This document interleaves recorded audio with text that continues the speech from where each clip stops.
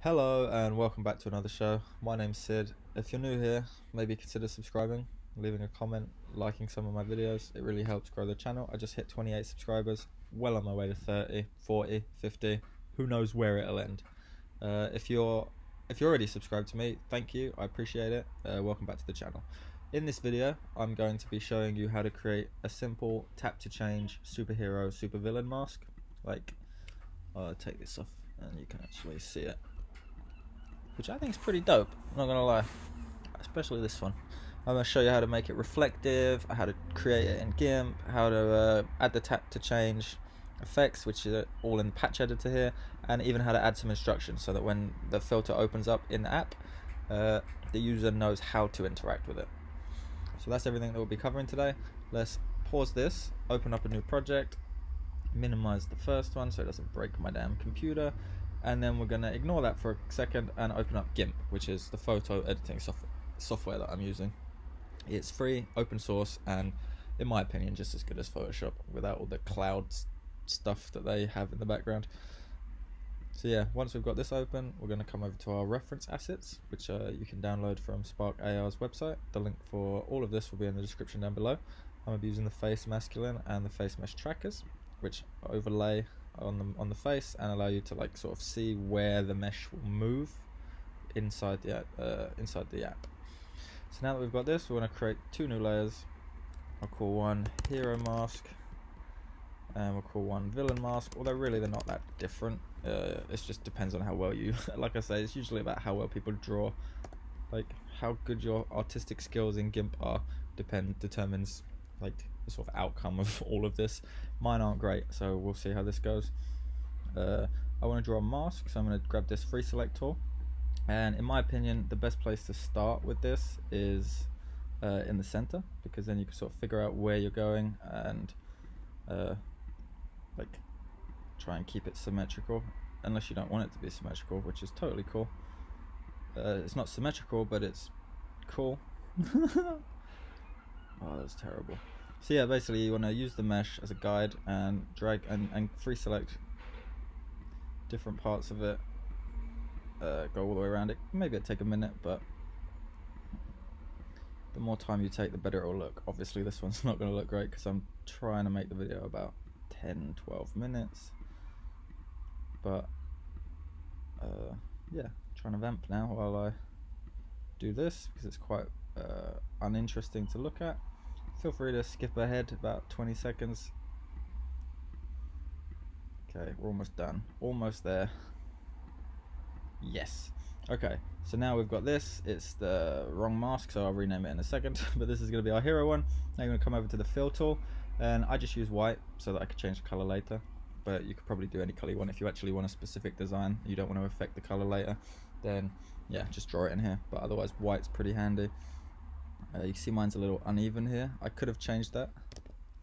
Uh, I I could have changed that, but now it's a little bit too late. I could probably come in and just draw that and fill it in, which I might I might do. We'll see how that goes, and then you can sort of just fill in the gaps. Yeah. Okay, so I'll rename that one Hero Mask, and this one Villain Mask because I, I always think of villains as having like spiky, uh, two sort of sharp masks that look like they'd hurt you if you got too close. So yeah, we'll do the same thing for this. Uh, actually, no. You know what I'm going to do instead? I'm just going to delete that entire layer. I'm going to duplicate this one. Uh, make it invisible underneath, make this one visible, and then I'm just going to add some spikes in. Like, uh, like this and then I'll paint it and then I'll do it again on the other side maybe around here. It doesn't really matter too much for this tutorial but like like I say the more time you take the more time you spend on it the better it'll look. Obviously this looks like trash but that's okay. That's that's that's really the aesthetic of this channel. Oh look I didn't even know that you could do that. That's impressive I guess it is the free selector. tool. Does make sense. Look at us learning together. Okay, so now that we've got those, we'll make these layers invisible, and we'll export these two uh, as uh, villain mask.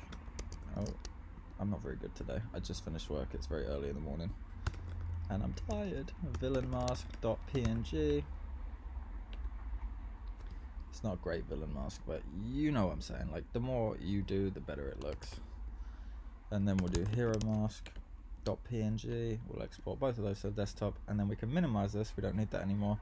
We've got our two masks, uh, and we've got our new project. So we'll switch over to the FaceTime. Hi, it's been a while. Nice to see you again. uh, I'm gonna put this back up. Let's make some noise.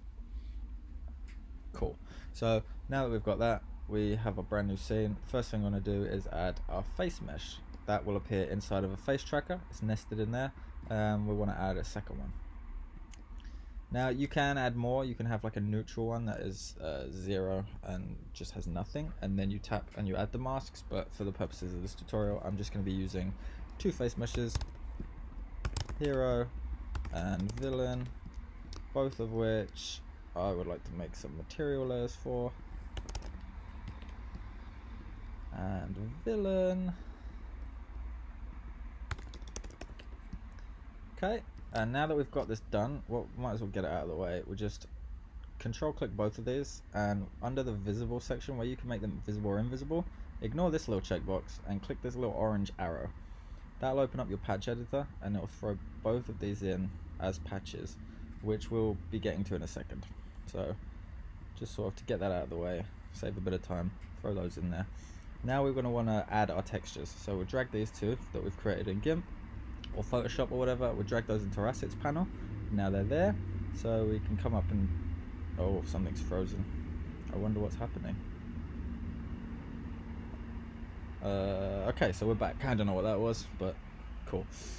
Uh, yeah. So now we'll come over to our hero uh, texture, and we're gonna add the hero mask, and we'll come over to our villain texture, and we'll add the villain mask. And now you can see they're both there. There's no interaction yet, you can't tap to change. Even if I simulate touch, there's nothing because these aren't connected to anything right now. I've also control click both of these and change the shader type to physically based, which will make them appear a little bit more realistic, uh, like mapping onto the actual shape of the face as a physical object. You can see it better over here, mm, like a Phantom of the Opera thing going on. But yeah, so now that we've got that done, I'm going to change the color of them. So our hero is blue in the last one, and our villain was red. So let's do that. Cool. Uh, and now to do the shiny bit. So that comes from down here. Click Add Asset, and then under Environment Texture Presets, these are a bunch of uh, pre-selected, like standard HDRI images, which are 360 degree images that capture all the light in the scene. Uh, like in a much higher resolution than typical photographs. They're great for uh, 3D modeling and things like that because you can add virtual lights to your scene, reflections. I'll just pick a random one for now. I'm going to use Machine Shop because it's quite bright and shiny. Uh, and I'm going to use it for both, although you can have separate ones for each if you want to really tweak the design, make it more personal.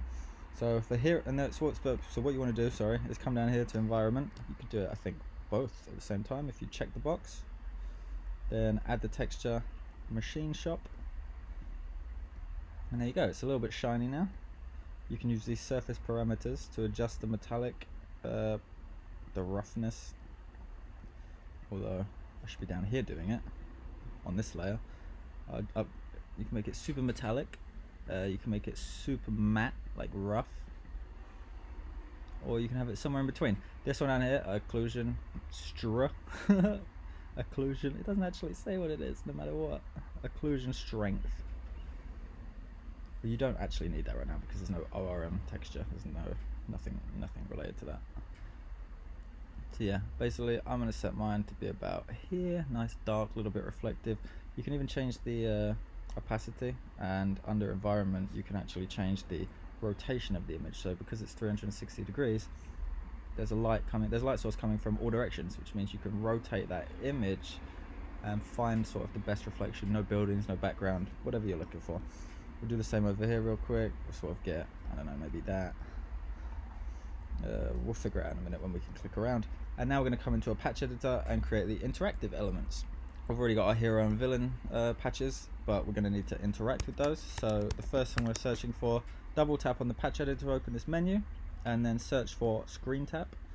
There's a whole bunch of options like blinking your eyes, opening your mouth, all kinds of stuff. Shake your head, but simple one is screen tap. It's the easiest one. It's the most like functional on Instagram and Facebook. So we'll just be using that now for this example. So we've got a screen tap, and we're going to drag over here to uh, add a counter, and the counter is going to iterate through whatever number we set, whatever count we set, uh, like 0, 1, 2, 3. Uh, in this case, it'll just be 2, so it'll be 0, 1, 0, 1, 0, 1. And that will be how we uh, change everything, switch it up. Now, in order to do that, we're going to need to add this equals exactly, which checks, as this iterates, it checks whether this number is equal to this number, or this number, or this number. You know what I'm saying? I'm struggling with this video, but I don't really want to start again. Just general fatigue. So yeah, now you're going to copy this, paste it, and connect them both up. But what you'll see is that it's iterating through 5 down here as our maximum count, and up here we're on two three four and then back to 0. Because these are set at 0, both of them are visible right now. And when I go to 1, neither one of these are 1, so everything's invisible. two three four all the way back round. So what we're going to do is we're going to change this number here to 1. Now we can see it, that's pretty cool. I'll probably change the shader and reflections and stuff in a minute. And then we'll change this count down here to 2 because we've got 1, 2. And all uh, in computer programming, all sort of sequence num numbered sequences tend to start at 0. So we've got zero one and it resets. Here we go. Look at that. Now I'll quickly come in here and adjust this a little bit. Uh, kind of wanted it to be, yeah, brighter than it was. A little bit. Something like this. I don't know. Tell me what, let me know what you think in the comments down below if you made it this far in the video. Or don't even comment on the mask, just let me know that you made it this far. That would also be pretty cool. So yeah, now we've got all this, I'm just going to add the instructions really quick. Uh, we'll come up here to device, sorry, uh, custom instructions, and then we'll click create, instruction on opening. That'll add these patches into your scene, runtime, uh, less than, and instruction. Less than is sort of similar, it's functional the same way as equals exactly, except instead of like checking whether two numbers are the same, it checks whether the total, the count, the timer here is lower or higher than this timer, this count that we've set here, in this case five seconds. So the runtime is when the app actually starts, and then the less than checks whether the timer is less than five seconds, and then the interaction is what we need to enable right now. So we'll come up here to project, edit properties, capabilities, instructions, custom instructions, select instructions to use, and then as you can see there's a whole freaking list of them. But uh, I'm just going to use tap to change again because that's what we're still using. You want to copy this token here, highlight it, copy that, and then paste it down here in the token section of the instructions patch. Now when you refresh, you see the time has already begun, and we're well over 5 seconds, so there's no instructions on here yet. But if I hit refresh, you see that now they show up. Timer starts, this is checked, 5 seconds passes, and the instructions disappear. It's pretty cool, pretty simple. Uh, that is literally everything in this video. Uh, I showed you how to how to create the two masks in GIMP, how to export them, import them in here, uh, add some environment textures so you can change the sort of reflective properties, uh, and then how to uh, add some user interaction with patch editor and all kinds of cool stuff. I don't know. This video is rambling and long. It's already almost 15 minutes. Damn. Uh, thanks for watching. Nobody made it this far, so I mean, I don't know how to end these videos anyway. but uh, yeah, it's like eight in the morning. Nine? No, it's nine. It's nine twenty in the morning. I've been up all night, and I'm super tired. But I'm gonna try and make more videos. Thanks for watching. Leave a like, leave a comment, maybe subscribe. I don't know. I've run out of thoughts. Like, bye. And I'm back again, and I'm wearing the same mask I was at the start of the video because I accidentally closed the project that we just made. But I forgot to mention the obvious thing that I've mentioned at the end of all the other videos but somehow seem to keep forgetting, which is the compression issue. When you export this to test on a device, oftentimes you'll get like a blurry screen. It looks, I'm looking at it right now on my phone. You, you can't see that, but I can. it's blurry, and you'll see it when you export to your own devices. So what you're gonna do is highlight both of these, control click, and then no compression on any devices when you export. Another thing you can do is uh, project, edit properties, compression, and increase quality to 100%. Now, when you export a test on your device, it will look exactly the same as it does on your device on your uh, desktop, and you shouldn't encounter that issue uh, anymore. Just a little tip. Thanks for watching. Peace.